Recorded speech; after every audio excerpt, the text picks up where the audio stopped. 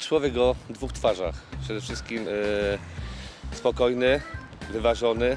Poza boiskiem rzeczywiście grzeczny, dobrze wychowany, inteligentny. Natomiast na boisku miał tą cechę taką, prawda, twardość. On nie jest takim jakimś showmanem, żeby, żeby, żeby gdzieś rozkręcić towarzystwo, żeby gdzieś coś za dużo powiedzieć. On, on waży słowa, on, on się bardzo mądrze wypowiada. Arek jest skryty, także nieraz się dowiadujemy od osób trzecich, bo nieraz nie zadzwoni i nie powie, że będzie tam w telewizji czy w kanale Plus. Z lewej strony mieszka do dzisiaj Mirek Okoński. Prawej strony mieszkał w tym widocznym wieżowcu Arkadiusz Głowacki. Za tym blokiem mieszkał, gdzie do dzisiaj mama mieszka, Mirka Szymkowiaka.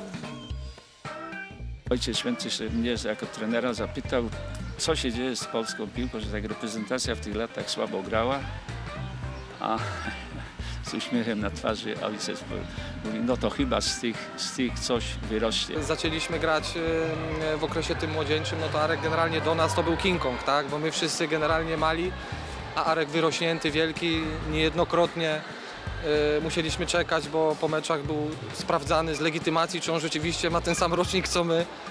Na obóz jak się wybierał, no to po prostu, po prostu nigdy się nie, nie mógł wybrać, bo siedział w telewizji i oglądał bajki.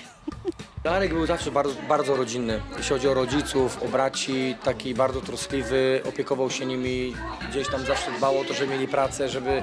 Także no nawet było widać, jak Arek y, wyjechał do Turcji, to brat przesiadywał u niego większą część tego kontraktu. Tak się śmialiśmy, że, że gosposia przyjechała do, do, do Turcji, ale nie, no jakoś tam z nim spędzał ten czas, grał z nim w playa.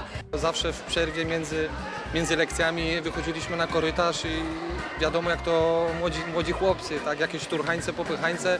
Arek oczywiście uczestniczył w tych zabawach do momentu, kiedy, kiedy się Arka nie trafiło, tak. Wtedy jak, jak już e, Arka się trafiło, to już było widać e, po jego twarzy, że zabawa się skończyła. Lubi grać w squasha, ze mną w szczególności. Zawsze się śmieję, że, żeby pamiętał, bo wślizgi robi jak, jak przegrywa. A ambitny jest bardzo, naprawdę. Gra z nim w squasha jest, jest, robi się bardzo niebezpieczna często. Do dzisiaj mi mówi dzień dobry, także rzadko się zdarza, żeby zawodnik, który przyszedł mając y, 17 lat i zaczął debiutować w Ekstraklasie, zaczął mówić do mnie dzień dobry. Później trochę mi to przeszkadzało, no wiadomo, no, dzień dobry panie Jarku, dzień dobry panie Jarku. Nie wiem, czy ja już się kurczę, czy on jeszcze rośnie, bo taki ostatnio był wysoki, jak go zobaczyłem, ale fajnie, fajnie. Żałuję tylko, że nie gra, nie gra w dzisiejszym Lechu.